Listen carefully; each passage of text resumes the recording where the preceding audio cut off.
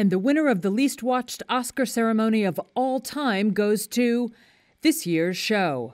Preliminary data released Monday showed that the TV audience for Sunday's Academy Awards plunged to a record low of 9.85 million viewers.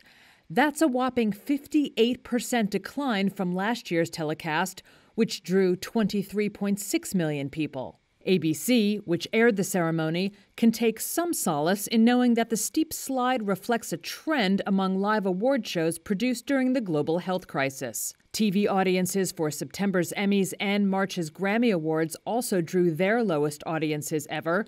Ratings for the Golden Globes in February fell 60% from a year earlier. Hoping to draw viewers while adhering to safety measures, this year's producers tried a few new things. To create a more intimate setting with only the nominees and their guests, the awards were broadcast for the first time at a historic train station in downtown Los Angeles.